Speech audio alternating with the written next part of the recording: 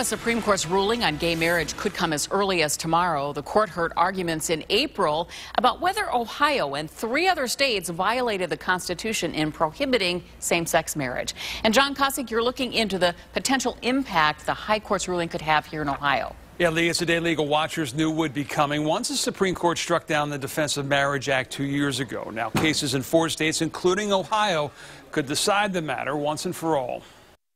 When it comes to same sex marriage, U.S. Supreme Court rulings over the last two years have cleared the way for those unions to take place in roughly two thirds of the country. Now, as they're set to rule on cases involving the bans in four of the remaining states, including Ohio, legal experts believe those previous rulings have essentially painted the court into a corner, clearing the way for same sex marriage in the U.S. I think it's a done deal. There's no way they, it would wreak havoc legally. Um, if only on a tax basis, to for the court to turn around and say, oh my gosh, what were we thinking? Joan Burda is a nationally recognized attorney and author on gay and lesbian legal issues. She said it was the same approach the High Court took in the 60s in overturning state laws that banned interracial marriages.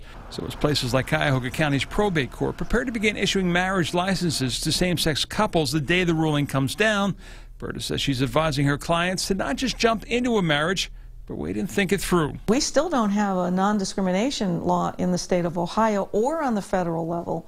So while you may be able to get married, that doesn't mean your boss isn't going to fire you on Monday morning. And that's something people have to consider, is that there are still issues that need to be resolved.